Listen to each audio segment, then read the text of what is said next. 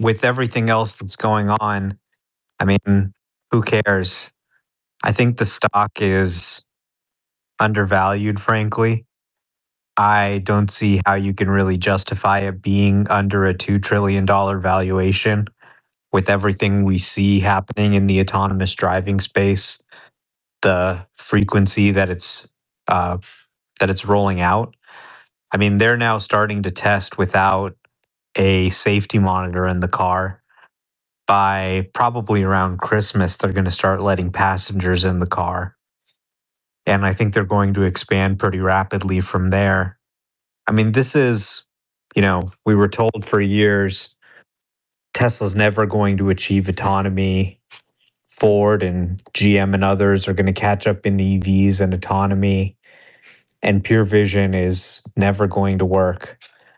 This is like the market equivalent of finding out that Bigfoot is real. It turns out you can actually drive a car with computer vision and everything that we've talked about, really the entire consumption model of of transportation shifting from buying cars to consuming transportation as a service. All of that's unlocked now. And, you know, you see Waymo, they're also raising money. This is no coincidence. This isn't coincidental timing. They're looking at these videos on X and they're going, oh shit, Tesla just unlocked unsupervised. We're going to need to push hard to be able to compete with what they're going to be able to do. Um, so I think it's a big moment. I don't think um, most people have really truly gotten it that you can actually go buy a, a driverless car that can do all of your driving for you. You can start to use the phone now. You can certainly, um, in Austin, you're going to be able to call a car with nobody in it. And I think in 2026, they're going to start rolling that out to customers as well, especially customers who are already in a robo taxi service area. If I have the exact same Model Y that's in the robo taxi service and I live in the geofence, why shouldn't I be able to watch a movie while my car drives me around, just like I can in the robo taxi? Why shouldn't I be able to open my Tesla app and tell the car to go pick my kid up from school and then come back home? Um, I think that's the functionality that's going to come in 2026. And just look at the reactions from people. I mean, even the mainstream media, they have to bite their tongue. it hurts them to say something good about Tesla, but they can't help themselves when they try FSD 14. They're blown away. People are waking up to the fact that this product is here and it's real. Um, I don't even think I don't think we've scratched the surface of really the market and the public becoming aware of what's really been achieved here. I think we're just getting started. Yeah, lots of great news that happened just even since last Thursday. Elon confirmed that SpaceX is going to go IPO. Kind of puts this whole space-based AI data centers uh, a little bit closer to potential reality.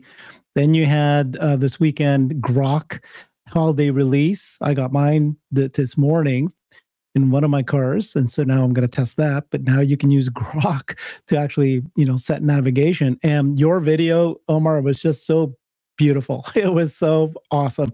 You talking to Grok and telling it to take you to multiple places. And then halfway while you're using self driving, you say, Grok, I forgot I need to go to the drugstore. And then it'll just automatically set that up for you. And then you can ask questions Is this, you know, safe to take this medication or not? And then tell me more about the location I'm headed towards. That was a really good um, demonstration of what it could do and why it's so powerful.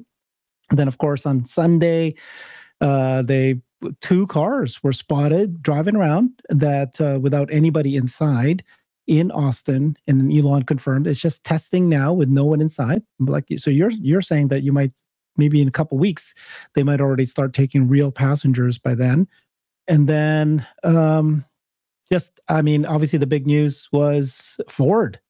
Ford saying they cannot sell electric vehicles. They are doing a $19.5 billion drawdown. Uh, they're stopping their EVs, uh, electric vehicles, for the at least for the Ford Lightning, Ford F one fifty, and they're going to go to these EREVs, extended range EVs with a gas generator, um, basically hybrids. and then Elon replied to that saying, "It's like uh, I told you guys, I told them, you know, but they insist. Legacy Auto insists on dying." He said, "Right? It's like he goes, uh, it's like it's like it's like riding a horse while using a flip phone." And so it's like you know, it's not that Legacy Auto doesn't know that they need to go EV and they don't know that they need to go uh, um, autonomous. They just can't physically do it, and they tried. They lose money. So it's like damn if you do, damn if you don't, kind of thing for them.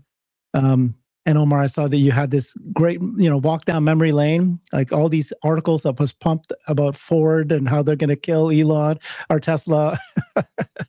and then it just doesn't happen. Yeah. Yeah. I mean, there's a lot we can learn from sort of the EV bubble there, where we were told, well, hey, now Legacy Auto is getting into EVs. They're going to wipe the floor with Tesla. As a matter of fact, by 2025, they're going to have a higher market share than Tesla. And I mean, we've still got a couple weeks left in 2025. Maybe they could surprise us. yeah. But it looks like they're kind of headed in the other direction. Tesla's US sales are still 10 times greater in the EV seg- uh, segment than theirs are, and they're pulling back. So even though to sort of a casual observer, you might look at an F 150 Lightning and say, hey, this is a product that I like. Maybe I want to buy it. Maybe I even like it better than the Cybertruck, at least in terms of aesthetics.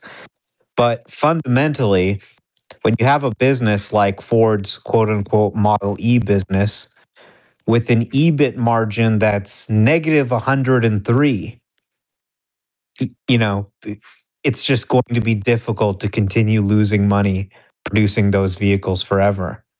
And they looked at the changing regulatory environment. You know, the EV tax credit is gone.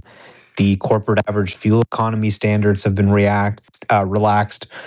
The general attitude of the administration, and they said, "Look, if EVs aren't fashionable, if we're not getting support, we don't want to produce them." So I think they'll probably ultimately be better off not uh, burning billions on this business. Hopefully, they can come back to the drawing board and find something that's actually more cost effective and profitable for them. But Tesla held up well against competition. Legacy Auto could not do what Tesla did in 2018, 2019 with the Model 3 and actually make money selling electric vehicles. They really failed to do so. Um, and they're going to focus more on hybrids.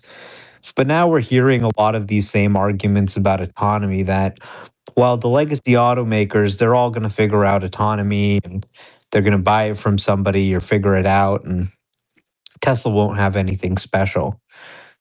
But you're telling me that the people who couldn't even figure out electric vehicles are going to figure out autonomy? At some point, I think autonomy will be ubiquitous, as will electrification. But these technology shifts are hard to manage there's a massive, massive disruption here happening with autonomy uh, that's shaking up the business. And a lot of these legacy automakers might not survive. I, I think electrification is going to be really important for autonomous vehicles. When you look at the Tesla website and it says, hey, we project $4,000 of fuel savings if you travel 12,000 miles a year if an autonomous vehicle is traveling 120,000 miles a year, that's $50,000 in savings over five years instead mm-hmm. of $5,000, for example. Um, yeah, I think all autonomous cars are going to be electric, and Ford is going to regret winding down some of these investments. That's a great stat. I was trying to ask that question whether or not hybrids could actually, technically, they could actually be autonomous there's nothing stopping them from doing that, but you know, it doesn't work. Alexandra? Actually, in California, they have a law that all autonomous vehicles have to be fully electric. Why? Oh, interesting. Huh. But yeah, from a technical perspective, you could use a hybrid. Waymo originally used Chrysler Pacifica hybrids for their fleet. Is my mic mic working again? Okay. Yeah. Um, I, I was actually wondering that not all Waymos are electric, right? There, some of them are on a. On Currently, a all Waymos are electric. Oh, they are. Okay. Because their, I was just their fleet's uh, Jaguar I-Paces. Okay. If the if the OEMs want to license anything. Is there anybody out there working on a FSD like solution that would work on a non electric car? Theoretically, FSD or any other system should work regardless of powertrain. It should, but why does it not? Well, It does. Omar, Omar explained it. It's, it's really a business model. I asked Grok the same question, and they said technically it can be done, but it's it's like Omar actually put the numbers in place. It's like yes, you can do it, but it, it'll cost a dollar per mile is going to be much higher. So they're barricading themselves actually on both levels, not having EVs and not having cars that can Yeah. implement any FSD in a profitable robotaxi exploitable way. So I guess they just see it as a driver assist function and not as a monetary or money producing function. Could that be it? So I- the self-driving model itself, all it outputs is what angle do you turn the wheel at and how much should I be accelerating or braking? There's a separate sort of vehicle specific control system that can take that desired acceleration and translate it into, you know, pedal outputs. But yeah, it could work on gas, it could work on hybrid, it could work on electric. And honestly, I think that Tesla probably should license it to vehicles regardless of powertrain. I mean, this technology is so powerful. The fact that you could slap a few cameras on a car, put a little bit of compute, you know, maybe a thousand dollar computer or with AI5, maybe around four thousand dollars, and make it almost impossible to crash. You wouldn't want to limit that to just electric vehicles. I think the market will naturally tend to prefer electric powertrains for these vehicles just because it gives you the lowest TCO. Um, so I had some answer to Alexandra. So Comma AI is um, making a um, smartphone related um, system, the vision only, that could be added to any car. Um, uh, George Hotz says they're a few years behind um, Tesla. They know that they'll be ahead, but you know that, that's an option. The issue with putting um, an FSD system, Tesla FSD system, is that they need to have the hardware four chip, which um, draws at least 250 watts um, all the time, pretty much. So, and then it can easily go up to a kilowatt. So, if you don't have at least a deep hybrid in order to um, run the electrics or something like that, you know, you know or do something, um, I, I, get, I get some kind of like a significant hybrid in order to power your system, then you could not put it in. Um, the other problem was that um, you have to have over-the-air update.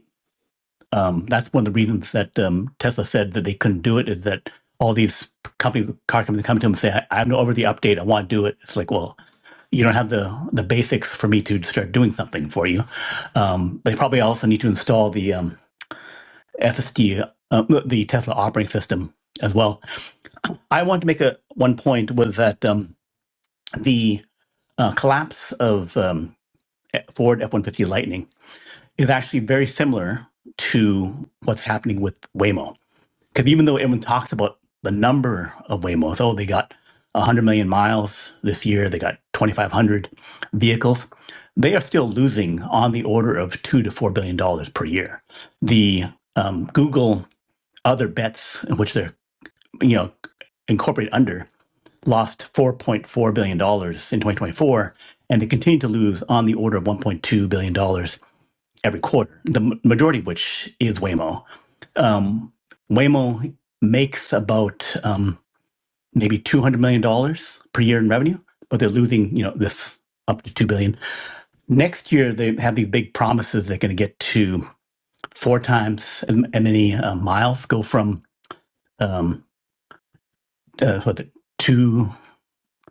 2.5 million miles per or no it's closing in 10 million miles per per month because of they're doing the 100 million miles so they want to go to you know four times that that level um, which means more vehicles um, but then buying those vehicles you know say 2000 4000 vehicles at a quarter million to a quarter billion dollars means that they're they're still at negative 100% margin right? I buy the vehicle, I lose the money, um, and then if I start getting pressured on the um, on the per mile charges, then I never make money.